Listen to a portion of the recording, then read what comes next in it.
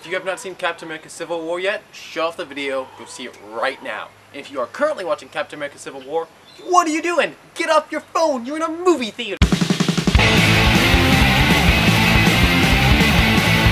Captain America Civil War is simply amazing. It is so good. I highly, highly recommend it if you are a big fan of the Marvel superhero movies or action movies in general.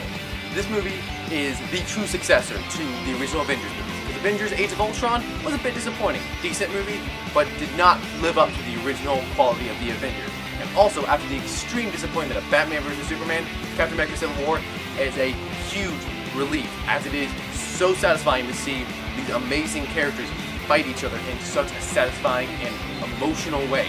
This movie will tear your heart apart. It will make you laugh. It will make you cheer. It is so amazing. Also, Black Panther, great character. Can't wait to see his movie. Also, Spider-Man, can't wait to see his movie because he is awesome.